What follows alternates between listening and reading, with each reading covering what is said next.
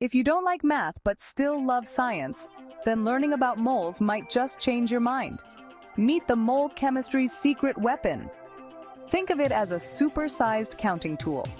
Just like a dozen means 12, a mole means 6.022x10 circumflex 23. Yep, that's a 6 followed by 22 zeros. Why so big?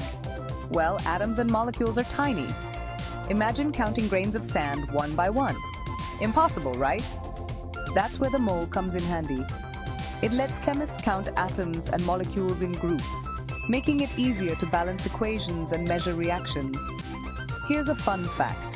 One mole of water molecules is about 18 grams.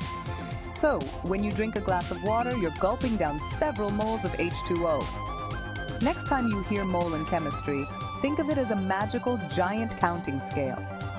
And remember, chemistry isn't just about reactions. It's about knowing how much of each ingredient you need. Happy experimenting!